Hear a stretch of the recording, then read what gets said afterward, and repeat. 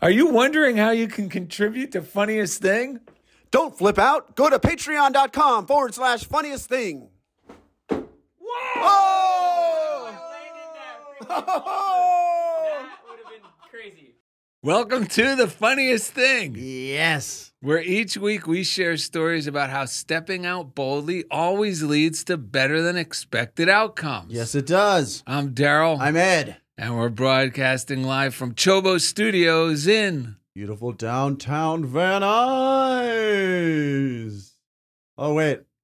Indy's taking calls. Uh, but I need to ask Indy a question real quick after last week, you buddy. Yeah, what's up? First of all, good morning. Good morning. Good morning. Are morning. we recording the video this time? we are. Sorry, guys. no worries, no worries. Just wanted to have Yep. a little fun, man. But um, yeah, are you ex- as excited as we are for Nancy Norman to be here? Oh, it's always a special treat to Yeah. uh, hear and see Nancy. So I'm excited. Let's do it. Amen, amen. All right, today's show is called "The Light Touch." Yeah. Reverend Nancy Norman. The light touch employs the most powerful ingredient in healing body, mind, and circumstances childlike faith. The light touch is the delightful touch. It's praying with a feather rather than a pickaxe. Choosing to apply the light touch to our seeming problems redirects our mind from worry fueled self determination to absolute trust that God is working things out on our behalf. It's the non resistant route.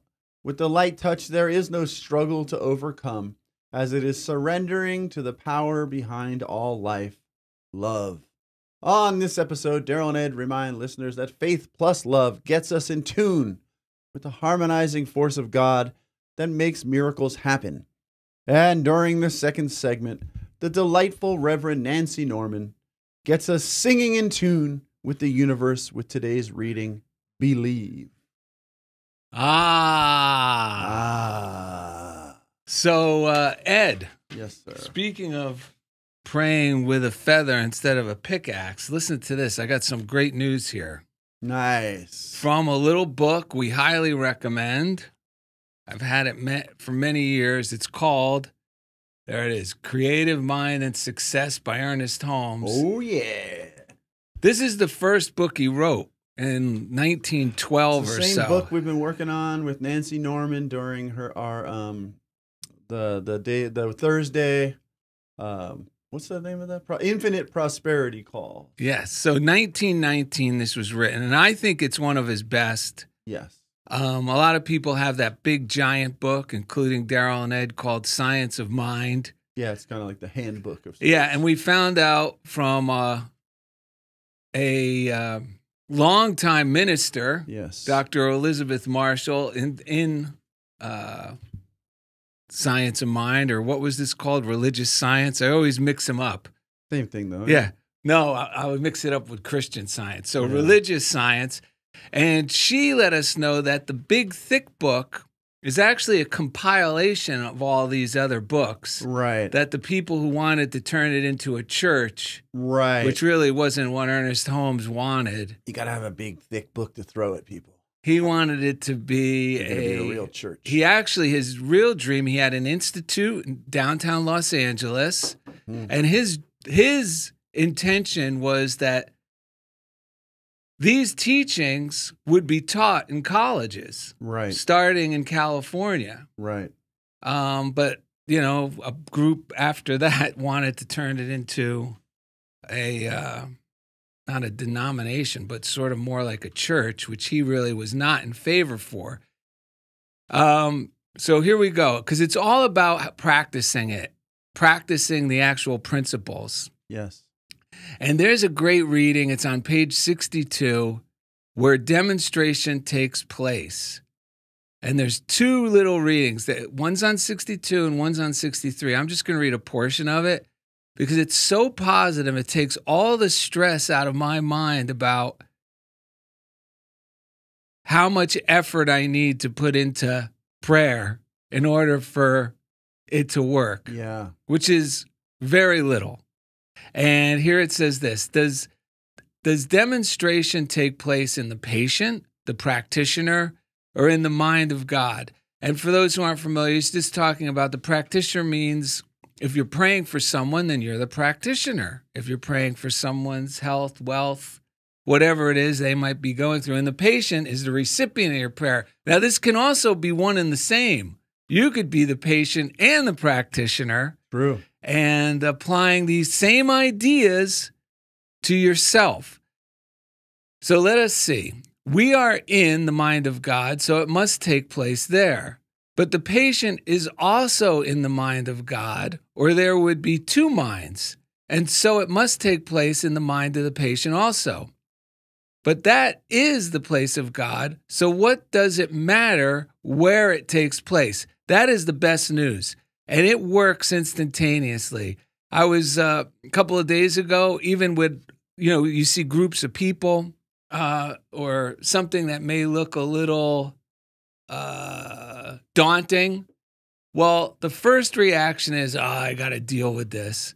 Hmm. But because I had read this, I go, no, my mind is connected to their mind. Yes. And if I start thinking negative, like this is something I have to overcome, I am moving so far out on my own. You know what I mean? I'm all alone now. Right. And this is that that misconception I had of courage because it's what it seemed like people were trying to encourage me to do, which mm-hmm. is overcome fear with bully like fear. You know what I'm saying? It's like Oh, I yeah, have a yeah. fear about something, but I am going to bully myself through the fear. Right. And that never works. It's it's exhausting, it's stressful, and I never got the results because you're actually you're not even you're actually undermining you're, you're reinforcing the fear Right. rather than eliminating it. I'm reinforcing what I'm afraid of by making it so big and then telling myself I have to bully through this thing. Right. And it could be finances, it could be dealing with car dealerships. Yep.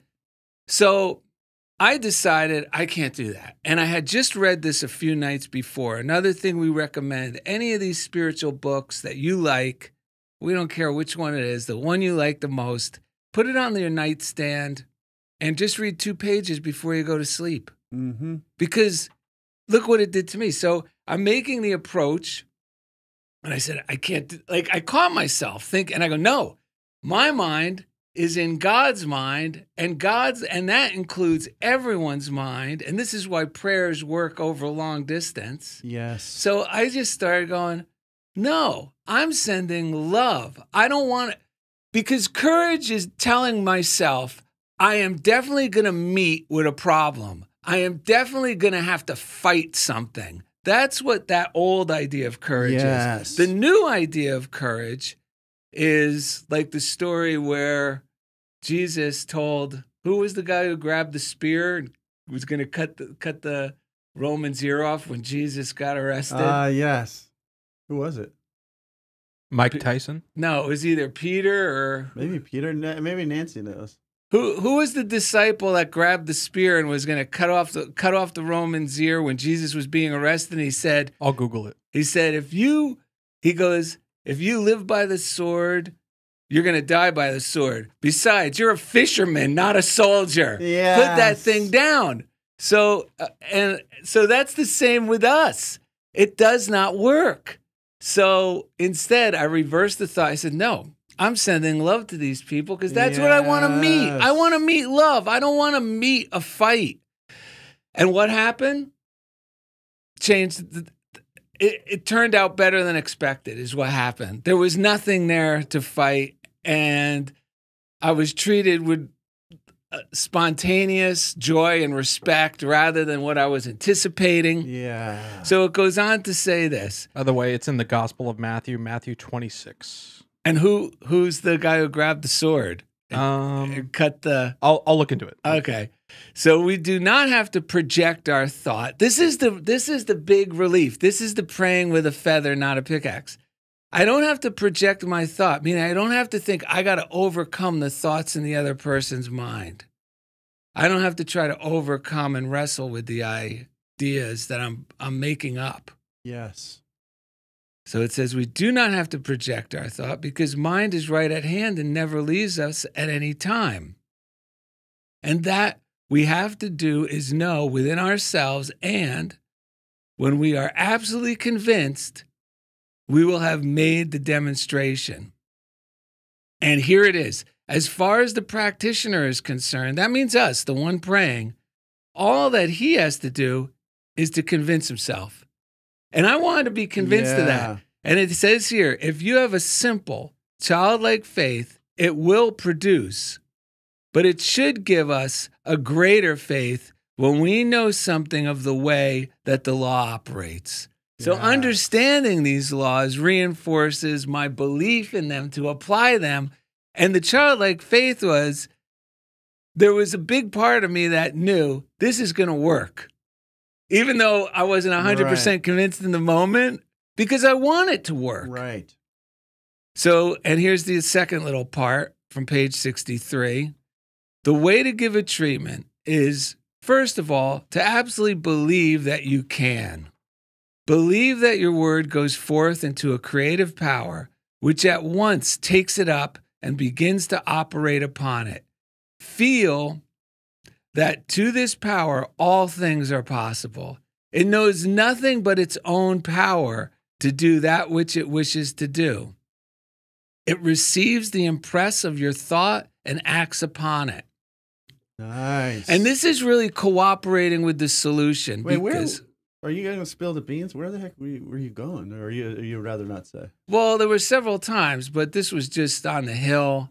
Oh, there okay. was uh, there was a crowd of people doing something. okay. Yeah. Okay. So anyway, Yeah, you're usually good about throwing it out there. Well, this this is uh this is this also goes along with the same thing. Yes. And it is this is from Ed's favorite book, One Day at a Time in Al-Anon on page 89. Yeah, you know, someone uh, recommended that to me, and the, the very next day, I found that in one of those like birdhouse free libraries on a block that I just happened to drive by and get out of my car for some reason I wasn't sure of, and there was a brand new copy of that. Yeah, you don't you don't have to be living with an alcoholic to yeah, to enjoy the benefits because this is all new thought. So, this talks about, like I was saying, this idea of courage, this old idea of courage, thinking we got to battle through things. As- Well, yeah, and, and what you know, like I want to say too, what you're talking about, you you are addressing the fear in the one place where we really can effectively address it, was which is within ourselves. yes, to be able to face our own fear, which is what most, you know, until we realize that we, when we think we're being tough. When I used to think I was being tough, I was really running away from facing my own feelings. And the beauty of it is, it turns into an exercise, like you're saying, courage, meaning heart, from the heart, yes, the core. the right Like, courage. The French word core is like C E O U R, means heart. And so it just makes me realize, like, the right courage is about love. yes, It really is about dipping into love and, and addressing the fear. And for some reason, when our mind is running, the scariest place it it doesn't want to look inside. But if we consciously look within and treat the concern, as we've talked about many times, instead of the condition, you Yes. treated the concern within yourself, dissolve the concern, and lo and behold, the condition may never even existed in the first place, but at the very least, now it no longer concerns us and it transforms. There's so many different ways it transforms. So that's a great story. Well, the best way is that this is not just a mental exercise that's right. That temporarily relieves us of our concern. Mm-mm. the fact, the only reason I do this and like doing it is because when I do do it, it transforms the circumstances. Yes, it does. It's not just me going, okay, I'm not going to buy into fears. I'm going to reduce my anxiety by tapping my forehead, or, you know, or whatever things which can get Yeah. you to a place of relief. But there's something about knowing that when my mind stops fighting and joins with the forces with Yes. love, which and faith, when you combine love with faith, Mhm. miracles happen. Yes. And, and and it's principle there too because faith I mean fear is always based on misunderstanding of Yes. the, the true principle which is love. So when I stay in fear, so my fa- like my father-in-law texted me something just yesterday and I've been talking about this like when someone asks you for help but they like tie in a little like little comment that makes it feel like like you owe it to them or something. And I was just talking about how what that really is a reflection of is the person who's asking for help feels insecure about asking. So they feel like they have to do this little thing, right? But we don't. It doesn't feel that way. A lot. It feels like who's how dare he say that about me or whatever, you know. So I was with my son when I got the text, and I took the time just like you. I was like, I, I he laughed, and that was helpful because I showed him the text, and I took the. I said, son, I just got to take a moment to get back into myself because I had lost myself because of the way I felt. And then all of a sudden, as I let go of the fear, like you did, I realized that's just that's just Bob being Bob. That has nothing to do with me. He always does things, you know. Like, and then I let go of that, and I ended up just sending a loving, okay, no problem. And then I said, "How are you feeling today?" And I turned it into a love. And since then, the texts have turned into like me recognizing that I'm helping this person Yeah. when they're nervous, rather than how dare they say all that stuff to me. It's like changed the whole thing, and I'm not afraid. Like you said, it's just it goes beyond, like you said, just now I'm okay. I can deal with it. It is transforming the Yeah. whole situation to realize I have nothing to fear. What was I thinking? Yeah. Yeah. No, I know because it's hard for me to just, especially through some of the scarier times I went Yeah. through earlier in this practice Right. I hear you. when I was working at the police department. It was hard to just go, oh, that's just them being them, Right. you know. Yeah. So I had to believe Yeah. that these, but it was the best training ground. I had to believe that no harm was going to come to me. Yeah, if, you and I if are- I if I yeah. believed this. Mm-hmm. But you know, when you have criminals, I mean, a guy with paper bags on his hands because you got to test them for for gunshot residue. Right. So you cover him with paper bags on his hands, and it's you're not anonymous, folks. When you're Mhm. I- my name tag and it's my last name. right. It was probably the only Fazaro in Hawaii. I could guarantee it. yeah. and he's looking at you, and the police officer's holding him. About for some reason, I was right in front of him after receiving this as we're like trying to get this guy in a place, and he's looking right at me. He goes, "Fazaro, I'm going to find you and kill you." Yeah. I'm like, okay, Right. like. How do you deal with that? And especially since just Yeah. a few weeks earlier, a friend of mine, um, Troy Barboza, another officer, Uh-huh. um, was working undercover, and um, they shot him through his living room. They found out where he lived. They shot him through his living Right, room and right, killed him. Right. So I was, so I'm like, I mean, this is like real insane fear. This is like, Well, yeah, it's same for me. I, my training ground, not the exact same, was working with like violent behaviored people. They threw like eight to nineteen year old people who couldn't speak and were all kinds of violent. They, they're like, "Oh, you're the new guy. You're going to teach them." yeah, like it's not quite as the level, but it was looking you in the eye and doing Yes. and, like having to have real faith that you're going to be safe. So both of us got like the best training we possibly could have because if we could apply it there, Well, that's it. So, Yeah. and Dugan was teaching me all this stuff, and I would just say nope, and I Mhm. would like go in full eye of the tiger yes, into love is the only thing that's going to get me out of this. Mhm. I can't run around worried about am I going to get shot at any moment? right, Am I going to get attacked? And uh, or you know, and there was many many other things that happened, but it was such a good training ground yep, to really work this, and it wasn't. The training ground was when it seems like this is the best training. Let me explain. Like when I'm in over my head, hmm since I've had these principles, when I'm in over my head and it seems like nothing else will work, I believe like Moses and I am re- and I could split rivers. That's how much I get into it. And I'm and I feel happy, secure because I'm all in. hmm It's the little broken shoelaces right, where I tend to allow myself to do exactly what I'm going to read here, which is the only thing that holds us back. And this is from One Day at a Time in Al Anon. If you have it, it's March 29th. Kirk Chelson, our friend in Germany, is the one who convinced me to read this. same. And here we go. Um, so it talks about the fact that some of us had turned our backs on God. I did at a point because I was like, "What is this? You know, It's for little old ladies." I threw I threw God out with the Easter Bunny and Santa Claus. I thought, this- you know, what is this? How does Right. this help anything? Some superhero who lived in the dark ages? I got problems now. Right. You know, oh, he died for us. What does that mean? I, I'm going over my head here. Right. So it was such a relief to learn that this is a practical mental approach to living that transforms everything from the inside out. So look, some of us have turned our backs on God, determined to go our own way under our own power. And that's the old fashioned idea of courage I had. That was not from the heart, it was all from the head. And I got to overcome something. But listen what, the, what that really is. This is like a child who walks into a dark room and refuses to turn on the light. When he stumbles and hurts himself, is the darkness to blame? If we are going somewhere and we reject the power of a train or a car to take us there, whose fault is it that our arrival is so long delayed? Yes. And the best quote is this This is my Achilles heel, folks. This is the thing I wish I could give up.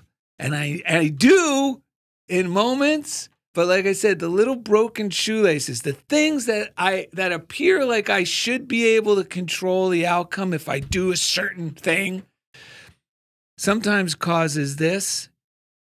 But learning this helps us not to fall into this, and this is what it is. Unless I love my martyrdom and cling to it, I need not be alone in freeing myself from whatever troubles me. Yes. So think about that when the itty bitty pity committee, Yes. or you start going, Oh, I can't believe it. Why is this happening? What did I do wrong? yes. I thought I've been living by this stuff. How is this happening to me? Yes. But that's the only thing that's going to keep me from it. Yeah, I got to read this. This is Go from ahead. Ernest Holmes from today, from Science of Mind 365. He talks about what you're talking. He says, "Fear robs the memory of happiness because it dwells upon the limitations and morbidities of the past. It robs the future of pleasurable and enthusiastic anticipation because it's casting a shadow of its past into the future.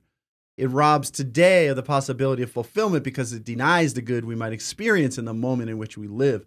And this is what we're talking about today. How much better it would be if we could think as a child thinks, abandoning ourselves to the integrity of the miracle working universe in which we live. That is perfect. It goes perfect with this. I just want to wrap it up with this one. This is from The Magic of the Word. Yes. It's by May Rowland. You can get all these books we mentioned you could find on Amazon or online. Some of them at your local library. Some of them are on audio tape, Yes. um, audio books. So listen to this. God in the midst of me, Midst. in the mists Uh huh. of me, hmm directs all my organs and functions into a harmonious pattern. We just have to mentally agree with that. Yes. Even though temporarily you do not feel that what you have said is true, just keep using that idea. Know that God's energy, life, and intelligence are moving in and through every part of your body, doing a perfect healing work in you. Tell yourself that you never again will think of yourself as sick, weak, old, tired, or incapable, that you are through with the old ways of thinking about your body. Think of yourself as a spiritual being. Think of yourself as alive with health, vigor, and vitality, filled with light and shining with health. And I wrote to myself, worrying about my healing is the only thing getting in the way of my healing. Thank you, God. I am young, healthy, and strong. My body knows it, and my body shows it. Dude, this book by Genevieve Behrend called uh, "Your Invisible Power." Um, this is how simple it can be too. It goes right along with your saying in, in this section eleven. She says, "In every word you use, there is a power germ which expands and projects itself in the direction your word indicates, and ultimately develops into physical expression. For example, and this is how simple it could be: you wish the consciousness of joy. Repeat the word joy secretly, persistently, and emphatically. just repeat the word joy. The repetition of the word joy sets up a quality of vibration which causes the joy germ to begin to expand and project itself Yes. into your whole being until it is filled with joy. Another may give you cause for joy, but no one can be joyous for you. Joyous is a state of consciousness, and consciousness is purely mental.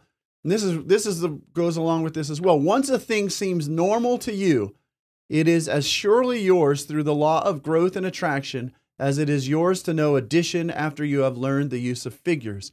And this line I love too. She said, So be yourself and enjoy life in your own divine way. Do not fear to be true to yourself, for everything you want wants you. And today, I was taking my son to the airport quickly, and I wasn't able to do my full no morning routine because it was a uh, I had to get up earlier and just whatever. So I was I thought about our show, um, the light touch, and I just said, God, let the drive be full of love. Let me stay connected to my son because I'm about to say goodbye to him. When I say goodbye to him, let me be flooded with love and joy. And I just let it go. I said, that's enough. We're driving to the airport, and all of a sudden I realized we're driving the same route that I always drove him to school when he was younger. And he's getting ready to graduate from college. So this is the last time I'm going to drive him to school down the same route. And as I thought that, I realized, man, when I, because of living this way and with, with Darrell's help and I used to drive a, a an old Camry up that road, and then it turned into a new new Tiguan, and then it turned into a newer Tiguan. And I realized by living this stuff, my life has gotten better, richer, happier, and it made me. It put everything else in my life into perspective. Why am I worrying about everything? It gets better and better and better, and it was just. It's that simple of a prayer because all we're really doing is cooperating with what the good that already wants to happen. Fear is nothing more than a resistance of good. It is it's no power unto itself. There's one power, it is good. So whatever I have to do to release the resistance to cooperate will work, no matter even if it's the size of a mustard seed. I got to read this quick letter. By the way, send us anything. Funniest thing, P.O. Box 1312, Culver City, California, 90232. Thank you to the Patreon subscribers. We've had some new Patreon subscribers. If you're on Patreon every Tuesday at 4 p.m., we do a little prosperity talk. Thank you to everyone that's been tuning in. I know Sherry Knight and Susan Sly and um, uh, the other girl's name? Katerina have a, have been sending notes saying how much they appreciate it, and we appreciate you. So this I got this cool letter here from Yogi Bhadrapala, who um, really loves the show, comments a lot on Facebook, and he said, "Here's this funny spiritual story. The day when Chellie Campbell, whose book is The Wealthy Spirit, was in Funniest Thing with Darrell and Ed, he said." I had been envisioning enrolling in school for a while, and that morning I was praying and asking higher power to give me a sign as to how to go forward with the school, or should I go forward. I told higher power, I want a sign that I can't ignore or not comprehend. So Chellie mentioned the clown chakra. Yes. As you know, I teach yoga and I also love to entertain kids of all ages. So I had been considering enrolling in professional clown school. oh my God. Yes, clown schools. Well, I got my sign from the universe. When Chellie told you about the clown chakra, I knew in that moment that was my sign just for me. I'm now enrolled at the Cheerful Clown Academy. I will start in May. It's a six week class. So, from Bhakti yoga teacher to Unity prayer chaplain to now Bhakti yoga clown. I am now Yogi the Grateful Clown, bringing fun affirmations to everyone, teaching to juggle our thoughts from negative to positive ones. Wow. After all, I am a fun dementalist clown. Can't wait to send you photos and videos. Can't wait to use positive songs like the new thank you song uh, that Janet Manning wrote that you brought to life for me. From Texas, I am Yogi the Grateful Bhakti Clown. And the follow up that came in said, Cheerful day to you. And officially, I've officially enrolled in Clown Academy. I'm now Yogi D, the Grateful Clown, healing one smile at a time. Let's activate our clown chakra. Let everyone know the actual title of that book because it's not just your invisible power. It's actually all th- the, the Well, cover. this, I don't recommend this one. really? I recommend getting just the Your Invisible Oh, Power. That's why I didn't say it. But I mean, if you want, there's a three book collection. Her name's Genevieve Behrend so why don't you like that one? because it feels more like a textbook from Ugh. school. oh, that's you know what I mean? Like each book is meant to be light and easy. yes. I kind of wish I had gotten just the Your Invisible Power book, but I, I feel like you might feel the same way. So I recommend just getting that one if if it's not too late. Um, so Should we just take our three breaths and go to break and bring in Nancy? Yes. Okay. So, this song, where did this song? It's Katrina. in It's a head. surfer. All right, let's. Don't you know the name? Yeah, but I was trying to think. Why did it occur to Because me? you you ride used to uh, waves, Katrina and the waves. Is that the name of the band? Yes. Oh my god. Let's take a deep breath. Or is it Katrina and the wave? You can look it up. I used to think maybe God loved me. No. How do you want to emphasize this? Because oh, I used to think. Oh yeah. Maybe. I used to think maybe God loved me. now, baby, I'm sure. I used to think maybe God loved me. But now, baby, I'm sure. I used to think think maybe, God, loved me. Now, Oh, baby, I'm sure. Yeah. Ah, Yes. Coming up next. It's important what you emphasize these days. So, coming up next, let me emphasize the delightful Reverend Nancy Norman gets us singing in tune. That's a good thing. With the universe, with today's reading, Believe. Thank you for listening to Funniest Thing with Darrell and Ed from Chobo Studios.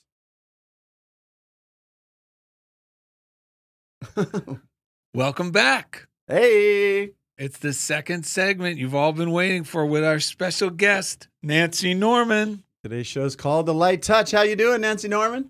I'm doing great, and I'm so looking forward to this wonderful time with you all. Uh, I thought it was interesting as you were talking about uh, Ernest Holmes uh, not wanting a church. That was true with the Fillmores. That was true with with Divine Science. It was true with every single New Thought group. Well, I shouldn't say every single, but I think it was every single New Thought group. They wanted to be teaching, and what um, what the Fillmores said before they start having churches come and learn the way we look at the Bible and what we're teaching, and then go to your church, your Baptist church, your Jewish synagogue, your Catholic church, or you know whatever, uh, and you'll just become a better a better Catholic or a better Jew or a better better Baptist or Methodist, and so it was meant to begin with as a teaching. Yes. And I, I I think it's still a teaching. yes, it is. It's kind of There's- interesting about that because Jesus um, didn't really speak about churches. Jesus was probably a lot like the Fillmores as well, because really the church thing, if you think about it, is really the continuation of the Hebrew tradition, just turned into a different Yeah. teaching, right? But Yeah. like in no place inside there, in, in, in Jesus' teaching, did he ever speak about a church? I don't think, anyway. No. No. Oh, he did. No. s- Yeah, there's he is quoted as saying like, "I'll build my." But he church meant upon. but he meant upon that faith, faith, yeah. that Peter had. Yeah, yeah. That belief that this that we are just like I read from the Ernest Holmes, we are part of that one mind. Yeah, We are all the sons of God. yeah, right. So, do you want to hear what used to be in the front of every Unity book? Yeah, And it said it all. And I believe this is who we are now. And in the front of every Unity book, it used to say, Unity is a link in the great educational movement inaugurated by Jesus Christ. Our objective is to discern the truth in Christianity and prove it. That's what we're doing when we're Yes. when we're manifesting or making a demonstration. We're proving it. yes, The truth is that we te- what we teach is not new. Neither do we claim special relations or discovery of new religious principles. Our purpose is to help and teach mankind to use and prove the eternal truth taught by the master. Is that fabulous? It's the best. so that's what they all wanted to do is just teach this. It's kind of like a new level of truth, yes. a new level of understanding. yeah, In that piece, that he used the word. who, Uh, Charles Fillmore wrote it. He he used the word to discern. You know, to to to have the wisdom to discover. Isn't that great? It's fantastic. It's exciting. to even think Yeah. when I was first learning this stuff, I remember thinking, why didn't they teach me this in college? Yeah. Like, why? Yeah. Because it's not offensive. right. None of it uh, that doesn't set off any alarms. No. The, the only alarms it would set off is in the minds of the superstitious, people who have a superstitious idea of uh, religion, Yeah. rather than I want to learn more of how I can embody more of these teachings. They're hung up on the do's and the don'ts, Yeah. and I shouldn't look at any other books except the ones that are specifically given a thumbs up by my organization Yeah. which is closed minded and not helpful. But like it says in the beginning, Nancy, it's true. These, it doesn't, none of these ideas conflict No. with any religious entity. If you go to the source of their teachings, it just makes it easier for the student to apply it in contemporary everyday to understand it so they could apply it to everyday contemporary situations. That was like when that hit my mind that clear that I thought that I was like, why don't they teach this in college? I was so because I was only 23 at the time. I'm going, man, yeah. this would be awesome. You know, and then like I gave that example earlier, and I'm using it in scary situations and in not so scary situations and getting the same positive outcomes. I was like, come on, man, what's going on here? Yeah. But then again, I just have to keep applying it on myself, That and uh, that's it. And then we become teachers just because we are living it. And so we become an example exactly exactly like Jesus. Yeah. Because Jesus rabbi means teacher. Yep. He was a teacher. He was a rabbi and he he lived by example. And somewhere th- through the ages we put him on a pedestal someplace and that we could never ever achieve what Jesus achieved. But the eye opener for me was when I read and I really got it was these things I do and you can do an even greater things. It's the best. Woo-hoo! Yeah. Yeah, that's the best line in there. Yep. Totally. Yeah. And and the other the other thing that there's two of my favorite that one and the other one is um I came that they may have life and have it more abundantly. Mm. Yes. You know, we weren't God didn't want want us to suffer, Right. to struggle. Uh, I just don't believe a loving, caring God would want that. I'm not. In fact, I know that just would not be. That would not be in in the thinking of a loving, caring God. well, if that and- was the case, we would never heal from any ailment. That that's true. we would never heal from anything That's if that right. was true. So Yeah. it's Yeah. not true.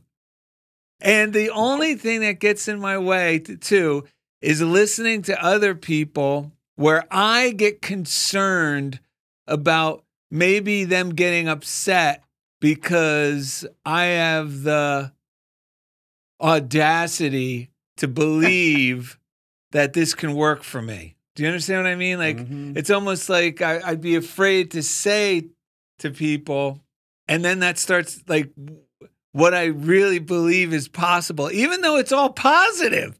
It's not Yes. saying anything harmful. It's saying the hopeful, positive outcome Yeah. is possible. But because that martyrdom is so strong yeah. in some people, that they Yeah. will get they'll they'll get angry if you tell them that there's a potential for something positive to happen or if in some incidences where I've shared to a group um and I seem to be reasonably happy when I do um people in the someone in the audience uh, made a comment when there was discussion afterwards that you know some of us aren't so lucky when people come in here and say how great it is. And i'm thinking to myself i start forgetting who i am and i'm like wait a minute oh wow I, he's right maybe i don't have problems and then i had to tell myself darrell you've had plenty of problems and you've overcome them And what's saving me now is uh whose book is it in? It's one of the books. Ah. Oh, it's either Florence Scovel Shinn or it's the May Rowland book. But it's we got to remember when people are saying things that seem negative because they're in that martyrdom brain that that you know what I mean? That Mhm. hypnosis which we all I fall into it a lot and I got to kick myself out of it. But um when someone's coming at me with that I got to remember wait a minute. This this is the joy that faith has built. This is the health that faith has built. Mhm. this isn't like I just got this. Like, You know what I mean? I mean, I'm I'm exuberant about it because I'm proving to myself that faith really did transform my perspective and my circumstances. Yes. So it takes me out of thinking I should shrink down so I don't Yeah. upset people. You know, it's like when Jesus said, you know, take the take the bucket off the off your light. You know, sometimes we can be in situations where we feel we gotta, mm, I better bring, That's right. I better dial it down because people might be Mhm. offended if I'm too happy or or believe that there's a possibility for a good outcome in this Yes. situation. Mhm. And I got to say, no, Darrell, you cannot do that. It doesn't mean be belligerent and Mm-hmm. demand other people believe as I do. But what it does mean is, Darrell, don't diminish your belief within you. Yes. Don't let this diminish your faith in this in the moment. Yeah. You're holding that higher thought. Yes. You're holding that higher vision. I, I what you're saying, Darrell.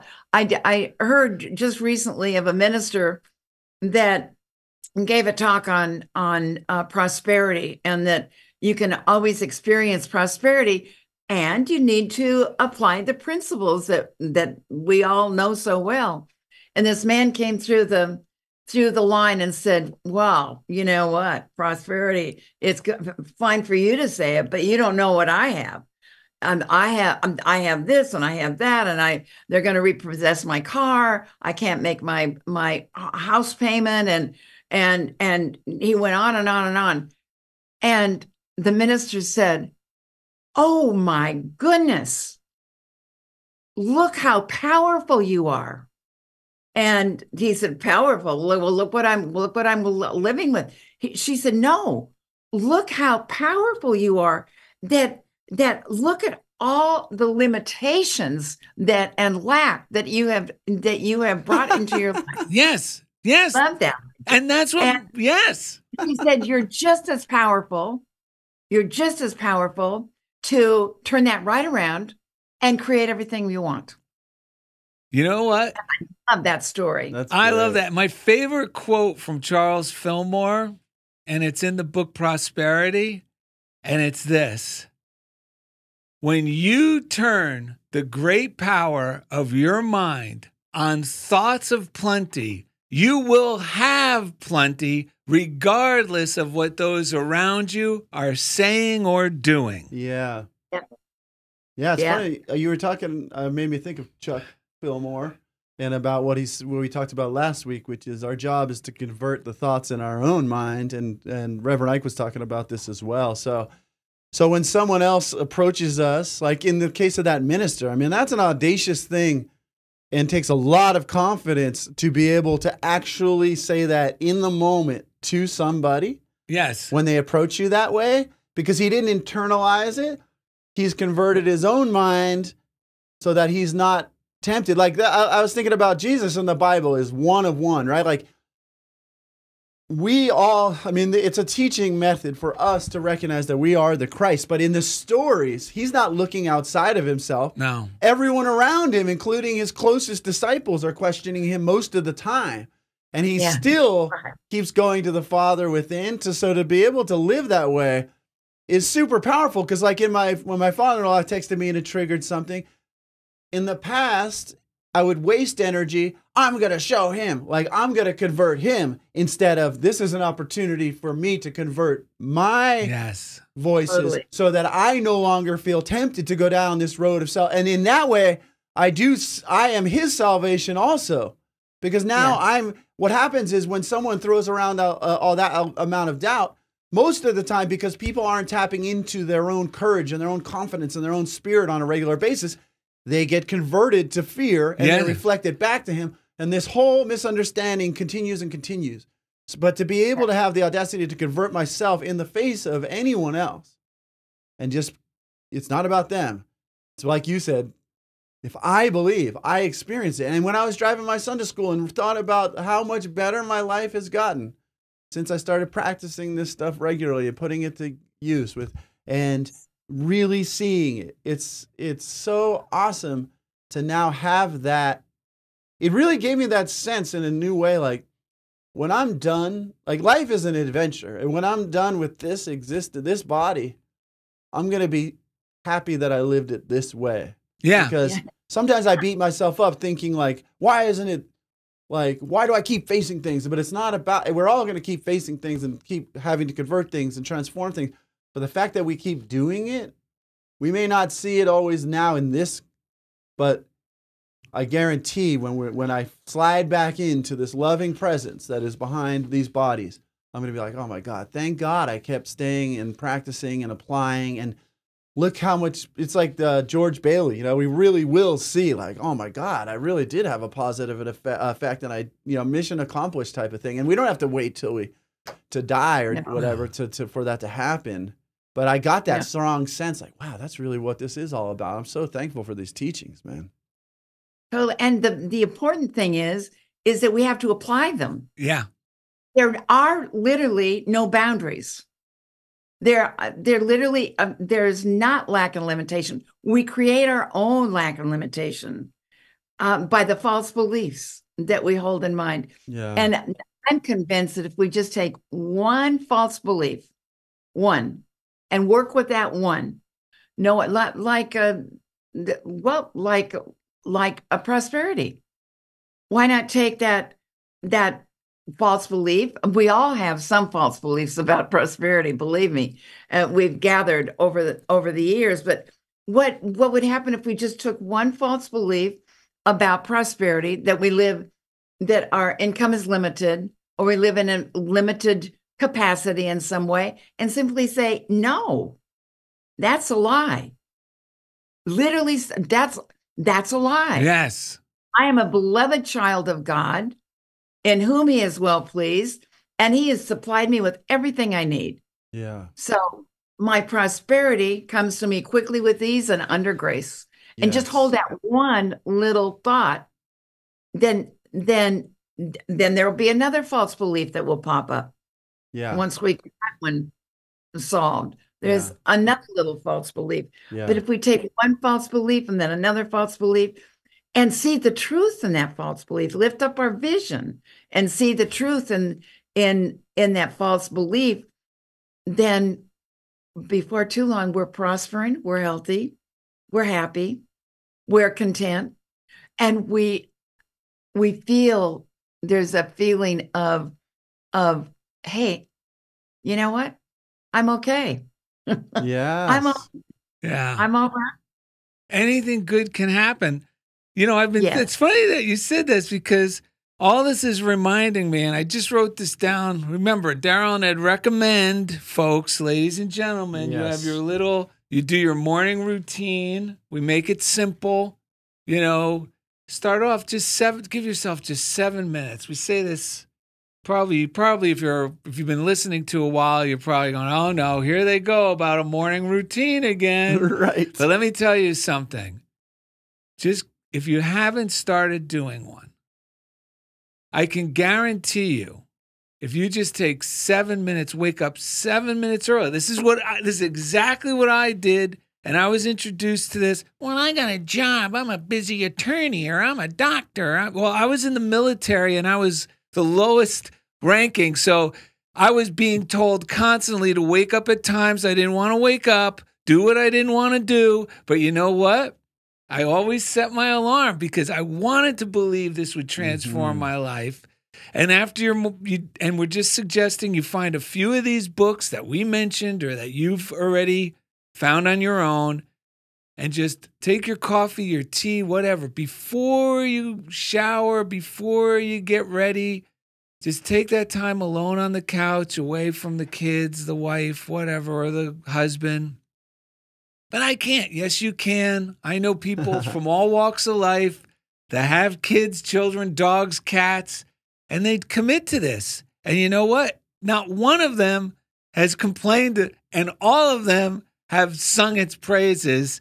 And then you write a few things, you think about your to do list now, it's all in perspective. So you start automatically without trying to figure out what the how to prioritize it. You automatically know, oh, I, could start with this. I thought I was going to race and go do that. No, I don't have to. Everything Yes. falls into perspective. And the last thing we do is we jot down some of the positive things that came to us during the routine affirmations, something we read, we'll write it down again. Or I kept thinking of this Bible verse. I didn't see it anywhere this morning, but I've heard it. I wrote it down in my book, and it's do not quench the spirit. And I just looked it up. It's Thessalonians 5:19. Do not quench the spirit. And that's what Nancy I you're talking about. It's that's what we're all talking about today. Don't let other people's ideas Yeah. or what you saw in the news or how dare I I we have this weird subconscious belief way down in here. I know I do because I feel it every once in a while. How dare I wish for more prosperity when there are other people less fortunate? Oh, that is a killer Mhm. because that Yeah. doesn't that does not help them that doesn't help me and you know what folks two things are bad one to despise people who are wealthy because then you'll never be one of them Yeah. and two to think you don't deserve to be wealthy because there are other people less fortunate well first of all about people being wealthier than us nobody gets wealthy, at least in America, or I would say anywhere, without making other people wealthy. Nobody, even if it's the worst possible person you think is wealthy, Right. and maybe they've done some rotten things, but you know what? They've created factories, they've created uh, trucks and cars. Henry Ford is still blessing people and helping people make money because of his automobile. Not just the people making the automobile, Right. the people who could drive to and from work. The it's crazy when you really think about it. Yeah. Someone was crying about Amazon. I, I screw Amazon. I'm going. Well, wait a minute. Let's think about Amazon. Uh, whatever his name is. I don't know the guy. Bezos. Bezos. Whoa, how dare. And I go, wait a minute. Let's think about this for a minute. Do you realize he's helping a lot of people? So Yeah. you you want to get rid of Bezos? What about all these young people that drive the the Amazon trucks in my neighborhood that are delivering packages? What about all these cardboard companies that are manufacturing the boxes? What about the tape that goes into tape? Do you know how many people are getting wealthy? What about all the small business people who don't have the money for rent to have a brick and mortar store? Now they could sell their creative wares effortlessly through Amazon. Right. So so let's throw away the despising the rich people. Yes. Well, what about the people that I think, oh, there are people suffering? Well, I learned I was suffering before I came to these believings. Before I, I didn't have parents or anything when I came to this. I was barely surviving as an E1 in the in the military because I was busted down to lower than boot camp. And but you know what? I was determined because this, I wanted to believe the silly idea that if I changed my thoughts for the better, then my circumstances would change for the better. yeah. I wanted to believe it was that absurd. And you know what? It's that this is why so many people rebuke this because it seems too silly. But you know what? We're all imagining all the time and we're all creating our reality all the time. So not why not get on board and cooperate with God, who's all love and doesn't do spite work, Yeah. instead of what I do sometimes when I want to be a martyr. You guys are lucky. You got all the breaks. You're lucky, Ed. You got a wealthy father-in-law. What do I got? I got nothing. Yeah, and the world is, and and that find, kills me. It doesn't Totally. hurt Ed. It kills me. and the the world, like if you go to Santa Monica, go to a lot of recovery centers, you're going to find just as many people that have really wealthy parents, but they're fighting the demons in their brain, and they're homeless. Yes. They don't have, they can't maintain anything, and so it's an equal opportunity employer that when we believe in lack and resentment, uh, bitterness, lack of like all of these things when we see ourselves low and we go between we're better than and worse than everyone else. I'm telling you, it's the be- it's so funny that we that these things are looked down upon like by the way we've been uh, academically kind of taught. It's very much like the Pharisees, right? Like Jesus blew the the truth out of the box. There's no more box. There's no more box. It's just a dude with a sandals and a cloak walking around. No church, nothing. Just the truth, the Father within. And I think because of the way consciousness works, we keep trying to hem it back in to the box because we try to keep going back to what we're used to. we keep trying to quench that spirit. Yeah, we keep trying and then then the new thought teachers come along. We don't need the box. All we need is a room where we can talk about this, and we don't even need that. We can use a radio show or a book, or we'll send it to you. Goes back into the box, turns back into a box, and the belief the, the people get hypnotized again.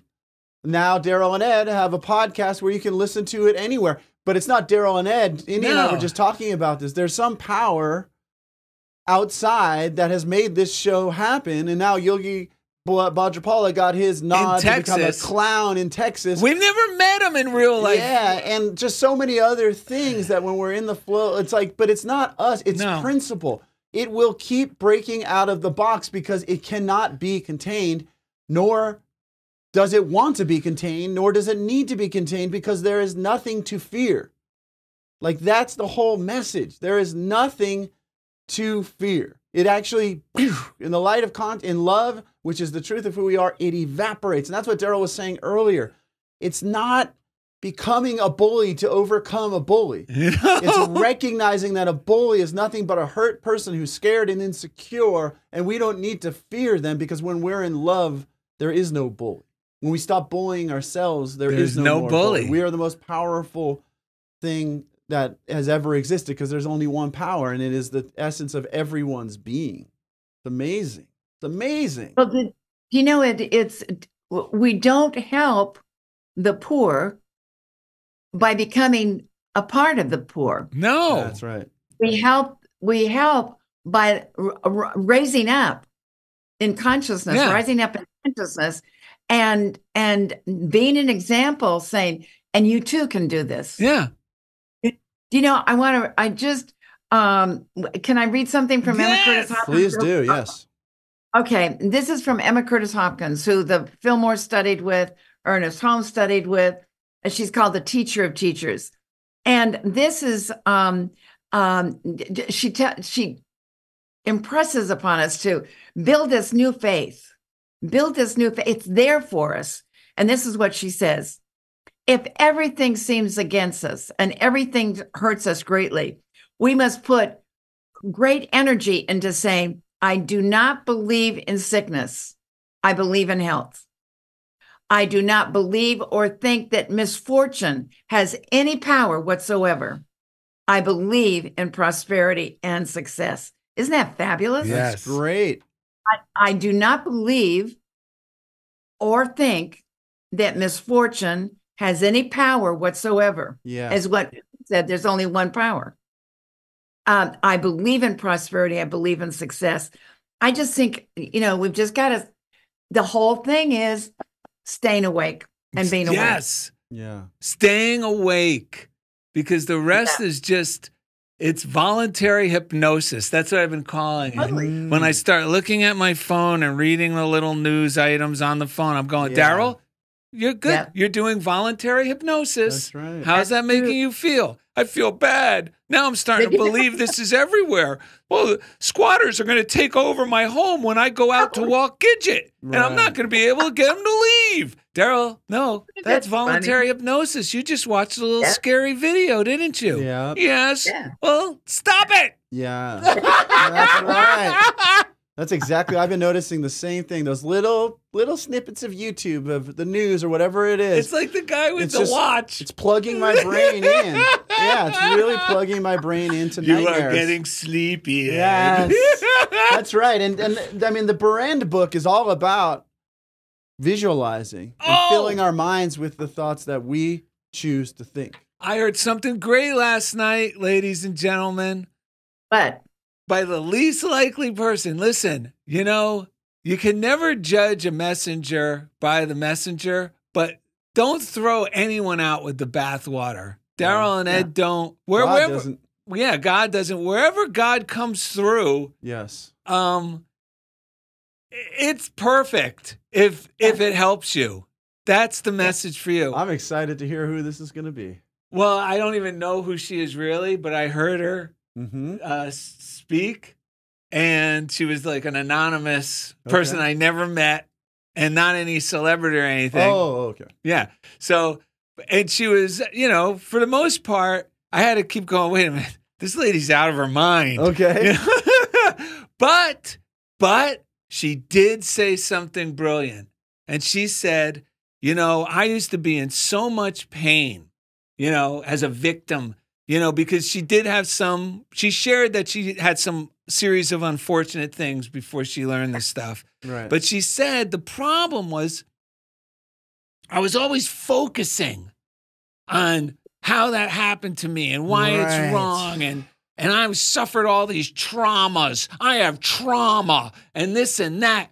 And she said, you know, then I realized what the real problem was. I have an obsessive mind. And once I realized I have an obsessive mind, I said, I could use my obsessive mind for good. When I start oh. when I start thinking about my problems, about oh my God, how am I going to make this work out? I go, that's your obsessive mind. Now let's use let's put the obsessive mind chewing on like like Yeah, like like Genevieve Behrend, Moran yeah. said. Let's start thinking about the joyful things that are happening, the joyful things that have gone on in your past, Yeah. and start obsessing about those. You know, and I'm going, that's Perfect. a good one, because Yeah. that's that- me. no, that's a that's a truth oh, principle. Yeah, and sh- and she even started Totally. giving examples of how the more she did this, the more seemingly magical things would happen in her life. People would give her money, doors would open up, opportunities would present themselves, and then every Okay. time she started obsess about those rotten th- conditions, Mhm. everything starts shrinking. Yeah. Doors start closing. Yeah. So she tells, nope, this is my obsessive mind. Let's chew on this instead. That's great. Love Ah. that. Fabulous. You, do you have the Joyce Kramer reading? Because it goes right along with what you just read. I do, I do. And Joyce Kramer was a friend of mine. So uh, she was a wonderful metaphysician. So this is a reading by Joyce Kramer, and it's called Believe. Lord, I give thanks for the good that is already mine, and I use it wisely. The idea that one must be poor to be good was surely started by someone living in lack. We still see people who parade their various lacks as goodness in an attempt to make up for their own inadequacy and failure feelings. Interesting that we just talked about that. I know. Isn't It's It's incredible. abundance is abundance is a part of the divine plan for the universe. God gives you riches of mind to be used wisely. The more you have, the more good you can do in your world. Your riches should enrich your own life and the lives of others. Give thanks that God is blessing you now in the wise use of riches. No matter how little or how much you have, it is your attitude that counts. You are as rich this moment as you can think in your mind. Mm. You are as good right now as you are in your thought. Fill your mind with ideas of God's abundant good. Seek a greater understanding of your relationship to God and be blessed. Isn't that wonderful? Yeah. That is wonderful. Abundance, abundance is a part of the divine plan of the universe. I love that. So good, so good, so good. And exactly what we were speaking about. yep, yep. I wanted to throw out there if you want to get the email from Joyce Kramer to get a uh, reading just like this every day in your inbox, it's Joyce Kramer Ministries.com. It's Joyce, J O Y C E, Kramer, K R A M E R, Ministries.com. And you can get, because these readings, I appreciate them more and more the more we hear them on the show. They're the best. I get, that's so cool that you knew Joyce as well, Nancy. Yeah. In fact, I went at one point in time in my life, I had heard she had collections of, of writings and early metaphysicians. And I called her and I said, Can I come up and spend a week in your library? And so I did. Wow. I spent a week with her. She brought out boxes, uh, files. I was I I had them all around me. She was she was a true metaphysician and um uh and lived it and lived it. Wonderful. And you know what? This is remind this. I just want to share this good news. It dawned on me. Was I talking to you on the phone when this dawned on me? That you know, if you're concerned, oh, I don't have a metaphysical type church near me, or where am I going to learn this stuff, or hmm you know, it sounds like a lot of them are taking a turn and there's no one. I went tried this one church and no one was there, and it was kind of like sitting through a old, dusty old, you know, sermon, and I really was bored and I didn't get it. Well, the I just want to reemphasize I did not get this through unity as a church. I got high in the beginning when one guy not affiliated with any church named Mike Dugan uh, suggested I get around the year with Emmett Fox and read it um, every morning Yeah. which led to me getting at that time they had the Emmett Fox Treasury, which was five books of his. It had Around the Year, it had Yeah. Find and Use Your Inner Power, The Power Through Constructive Thinking, and the Ten Commandments, and I forget what the fifth one Sermon on the Mount. and Sermon on the Mount. And I would just take those books like Find and Use Your Inner Power or Power Through Constructive Thinking with me throughout my day. I'd read it on the bus to and from my duty station. I'd read pull it out during work when I was at the police station, you know, on my breaks. And that was enough. Yeah. I discovered unity later on when someone suggested, hey, you know, there's a unity church near right, you. Right. And they do a Course in Miracles talk on Wednesdays. But I just don't want anyone to think, oh, Darrell and Ed, they were lucky. And we talk a lot about unity at Santa Yeah. Barbara. Yeah, Unity Santa Barbara is a big road trip for Darrell and Ed. It's an hour and a half away. right. We'll enjoy doing it now and again, but we don't do it all the time. The main thing is we have all these books. They're available to you. You have this podcast where you learn about these books and hear about us applying it and hearing our guests apply it.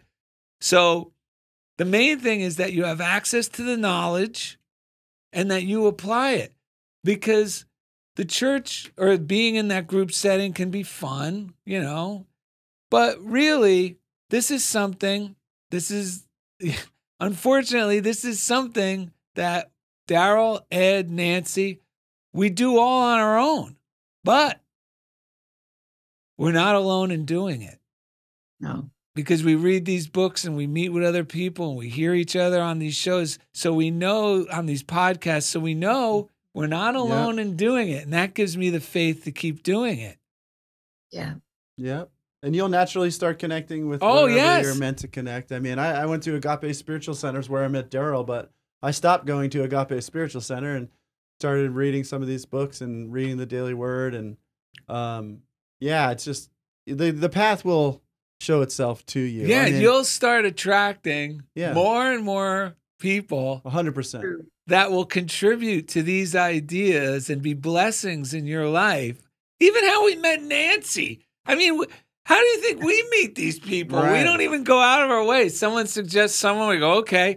And our our our test, if they're going to be a great uh, guest, is we- we're really enthusiastic Yep. someone either we're really enthusiastic on our own because we read something or met Mhm. someone or someone suggested them but the real kicker is they're just as enthusiastic to be on the Yeah. show they'll get right back oh yeah i'll do it and we're like wow okay and we just know it's going to be great Yeah, that's right.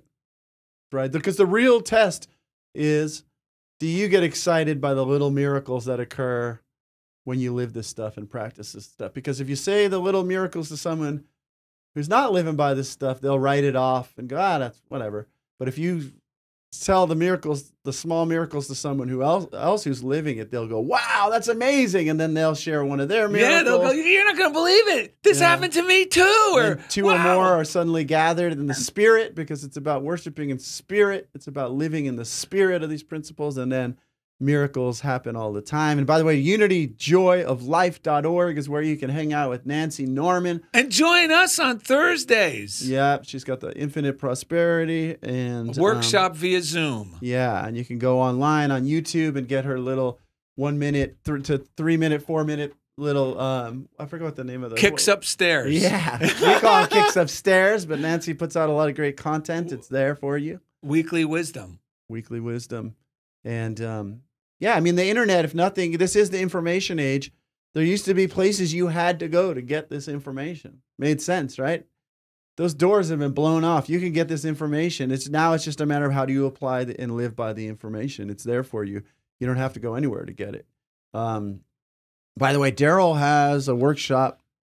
Throw it out there. This is the last week to sign up. Yes, it's the intuitive method because the key to living this stuff really is following your intuitive guidance. That really is the Christ in you hope of glory.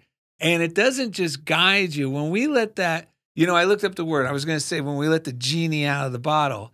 Did you know these three words I know. I think I already see them in my head. Go ahead. genius, genuine, and genie?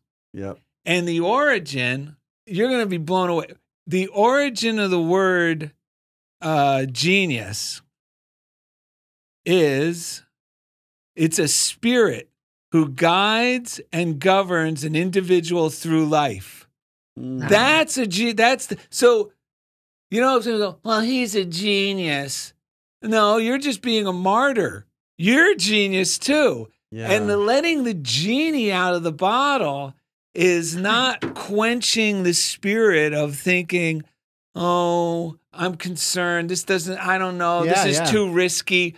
Well, this workshop helps you start to do it in a controlled environment where you can start practicing through art making going with that intuitive thought because there's very little risk you're not going to die if you put the if you make a mistake on a piece of paper right. but that gives you the confidence then to recognize that feeling in your everyday affairs and then follow those Yes. silly ideas which are coming from your genius your genuine self Yes. and it's healing when we follow those things because we're letting that the God, the Christ within the hope of glory, or the genius, or the genie, or the s- universal spirit flow through us. yeah. Because congestion is the only cause of all disease, and the cure is circulation, or like Ed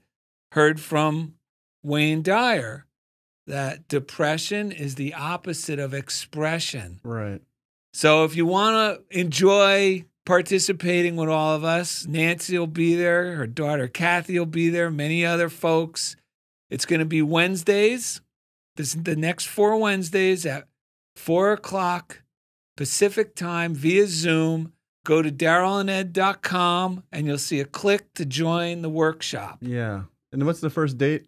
First date is the third. April So- 3rd, 2024. Yeah, and so the last day to sign up um, would probably be this Monday or tu- Tuesday because then you'd be pushing it close to get some of the things you'll need for the class via Amazon or your local art store. Yeah. So hopefully you'll make it, and if not, they'll, I'm sure there'll be something in the future that we'll have going on. Yeah, there you go. And it's yeah, the the this all this is about the ability to continue to be yourself Yes. and wake up from the hypnosis. You think about it, the geniuses oftentimes were just the ability to see the obvious when everyone else for some reason was like, that's a sin to think that. It's a sin to think that the Yes. the sun is the center, you know, like people were but someone's like, no, I just happen Well, to know this is the case intuitively. Yes. And I'm going to keep exploring it and keep exploring the things that are true for me. And that turns into be like the most genius things that like we take for granted. But when we share the genuine truth of what we as we see it, it blows people's minds and, and it blesses everyone. And that's what Nancy does in her ministry. That's what we uh, do here. And that's what you're doing every time you live by these principles and just let your true light shine. Let your genie out of the bottle. Let the genie out the bottle.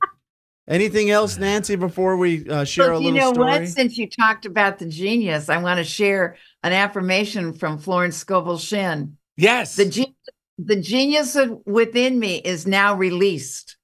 I am now on the royal road, the royal road of success, happiness, abundance. All traffic is going my way. Wow. The genius within me is released. Yes. Go- read it one more time. That is Okay. too good to not read The twice. genius within me is now released. I am now on the royal road of success, happiness, and abundance. All traffic goes my way. I just love that. Ah, that makes me feel yeah. good. Just read. Oh yeah, it's like riding that wave of traffic of green traffic lights in New York City. If you Yes. time it just right, you can go far. That's right. Far. I love it.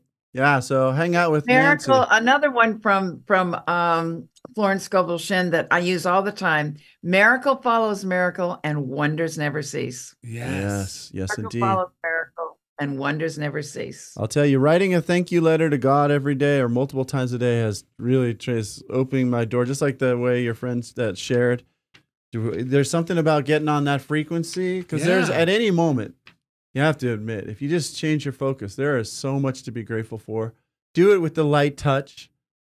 Take your time in your, your own laboratory to imagine what you want when you're not trying to argue with anyone else or try to worry what anyone else thinks. Use the light touch. That's all it takes. It, it really does work. If again, if you want to hang out with Nancy Norman, unityjoyoflife.org. Uh, we found a story, Nancy. Oh, Apparently, it was late in the day one day when Nancy Norman pulled up to the campsite with a fully loaded minivan. As soon as they stopped, the doors opened and the children flew out, began to unload the gear, and feverishly set up the tent in minutes. The camper in the space next to them marveled to Nancy. I've never seen such teamwork nor a camp that was ready so quickly. I'm impressed. And you didn't even raise your voice. Nancy turned to the neighbor with a and nodded sagely. I have a system. No one goes to the bathroom before the camp is set up. I love that. That'll work every time. Yes. yes, yes, yes. It's Um, funny. So we have a little affirmative jingle. I was going to get the official name. Yes. It is from Katrina and the Waves. The waves. It is Yeah, waves. is. That's amazing that I didn't pick up on that. Katrina and the waves. Oh, Yeah. wait. Is he coming in with a guitar? Mhm. Wow. We got a live musician. Here's the thing, man. Oh, Go ahead.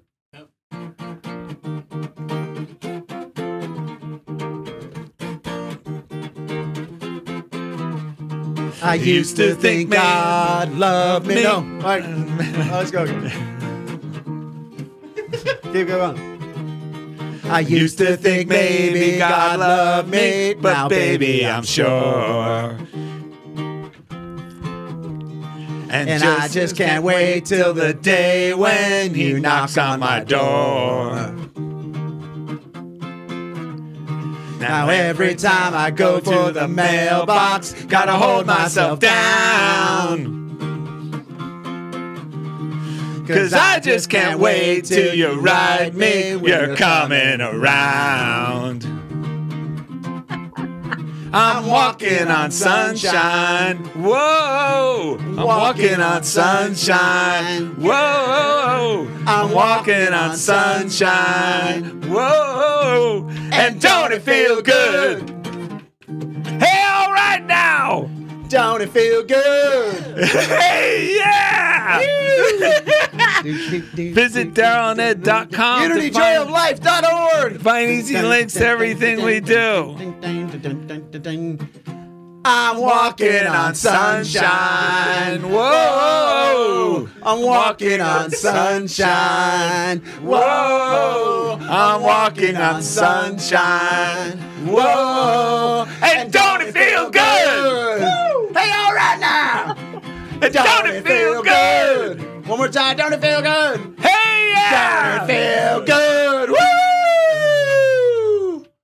Not bad for our first rehearsal with I, guitar. well, I'll tell you what, I love that. Walking on sunshine. I can feel that. That feels good. Amen. Yes. Thank you, Nancy Norman. We love you, Reverend. recording your podcast at home, or using cheap gear, or spending all your time editing, or Here at Chobo, we have podcast studios, podcast editing, podcast distribution, podcast clips. And don't forget the snack bar. Completely automate your podcast or just delegate the work you don't want to do.